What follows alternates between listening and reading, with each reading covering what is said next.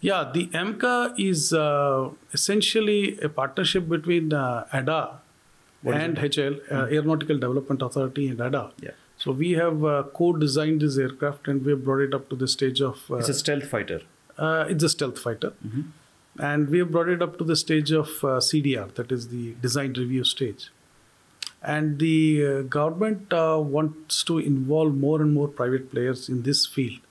So this time they have gone for an open tender. So Okay. uh, HAL is on equal footing with other private parties Hmm. uh, to bid for this contract. So essentially, the contract is for building prototypes, Mhm. five prototypes, and later uh, know, at the the fatigue uh, testing. These are the components. So how far are we away from actually seeing the production of these?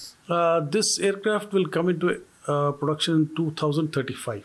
Takes 2035. 10 years because Okay, yeah. uh, prototyping, then certification, and then it goes into production. So 2035 is the expectation this will go into production.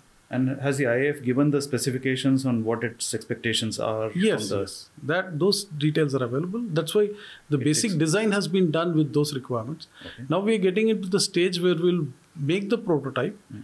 and then uh, start the flight testing. So this contract essentially is an open tender. Where uh, private con- uh, parties can form a consortia. HAL also is thinking along the same line. You will, will- form a consortium we will private take uh, private partners so that uh, it will be easier for us to, going forward uh, to make this into uh, a faster uh, enterprise, get it out quickly. So we will. We are already partnering with many private companies for the LCA.